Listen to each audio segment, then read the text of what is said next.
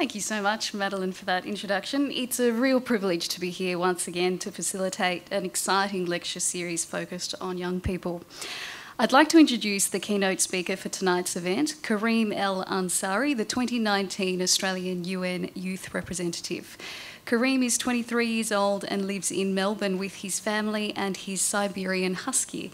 Kareem has a passion for volunteer work and social impact, having worked across the non profit, development, and youth sectors for the past two years.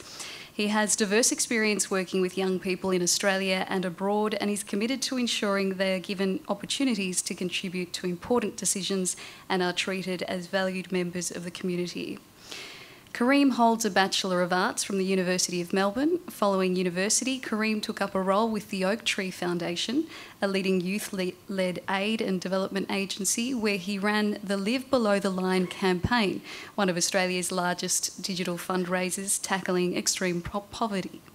Following Oak Tree, Kareem became CEO of the Asia Pacific Youth Organisation, an Australian based NGO working to build platforms across the Asia Pacific region that build the capacity and influence of young people.